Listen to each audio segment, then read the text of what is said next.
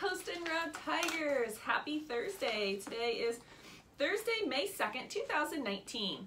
Your lunch choices for today are grilled chicken soft taco or beef and cheese soft taco or yogurt, string cheese, and animal crackers served with Spanish rice, blueberry dump cake, pintos and cheese, mandarin oranges, steamed broccoli, lettuce with cheese cup, and milk.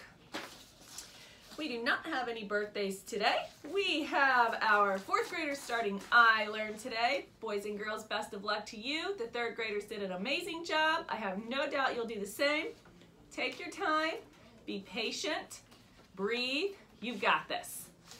All right, we've got our recorder recycle for our recorder recycle sorry, our recorder recital this afternoon at 2.45 in the gym. So all the other grade levels, if you are interested in watching the fourth graders perform, you can meet us in the gym at that time. Also tomorrow we have our mentor luncheon for those students that have lunch mentors. And we'll stop there.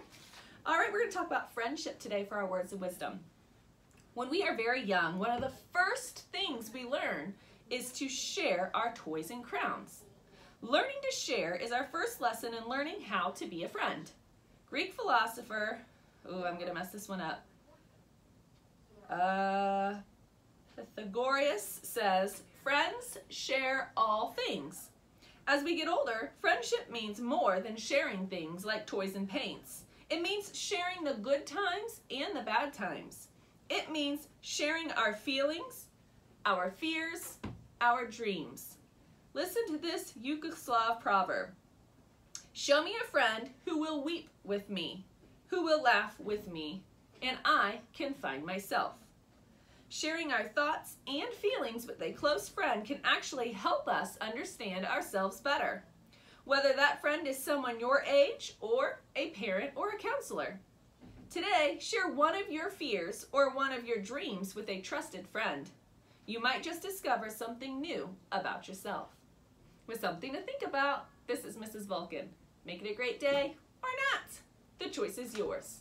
Boys and girls, please stand and face the flag for the Pledge of Allegiance.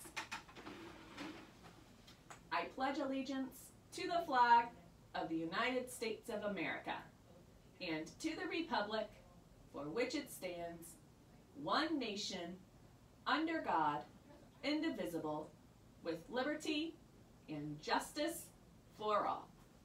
Please remain standing for a moment of silence.